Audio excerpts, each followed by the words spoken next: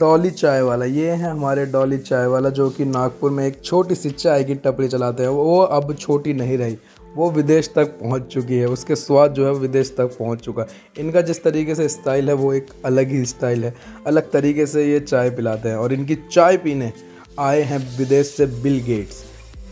Bill Gates कोई introduction के मोहताज नहीं है।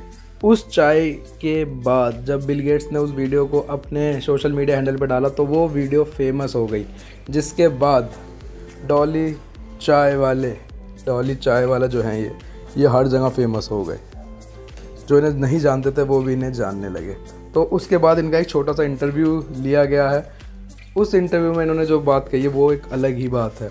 तो चलिए इनका इंटरव्यू सुनते हैं और इंटरव्यू सुनने से पहले चैनल को सब्सक्राइब कर देना वीडियो को लाइक कर देना। कैसा लगा आपको? क्या अनुभव मेरे को बिल्कुल पता नहीं था। मैं तो समझा था कि फॉरेन कंट्री के बंदे हैं इनको चाय पिलाना चाहिए तो मैंने चाय पिलाया। मेरे को बिल्कुल अनुभव नहीं था कि मेरे को अगले दिन जब मैं नागपुर वापस आया अगले दिन पता चला कि डॉली तूने किसको चाय पिलाया? आ, कैसा अनुभव रहा उन्होंने चाय पीने के बाद? क्या कहा आपसे? वाह बोले डॉली की चाय। आपके बारे में उन्होंने पूछा होगा।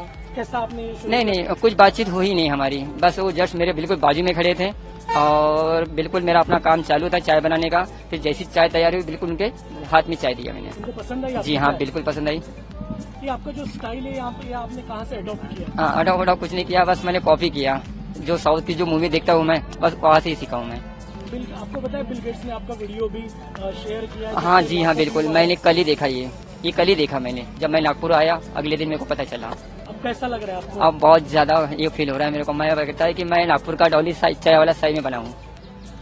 अभी भविष्य में आपको किसको चाय पिलानी है? नरेंद्र मोदी जी को। और पक्का पिलाएँगे उनको चाय अगर जो हमारे पास आएँगे तो। आपको ये जानकारी थी कि आपको बिल गेट्स के पास ले जाया बिल्कुल नहीं बिल्कुल नहीं। हम तो सिर्फ़ अपना वाला इवेंट करने के लिए गए थे जो टीम ने हमको बुलाए थे बस वही काम करने के लिए गए थे। और फिर अगले दिन पता चला कि डॉली तूने किसको चाय पिला के आया भाई? इतने बड़े व्यक्ति तक पहुँचना ये आप कैसा देखते हैं इसे? हाँ मेरे को तो प्राउड फील हो रहा है। एकदम प्राउड फील हो रहा है मेरे को कि मैं सही में उनको मिल के आया। तो भविष्य में आपकी और क्या योजना है? बस मैं अपने लाइफ में बस लोगों को चाय पिलाऊं और दिन भर स्माइल दो और लोगों से भी स्माइल लो। बस यही चाहता हूँ कि हँसते रहो और हंस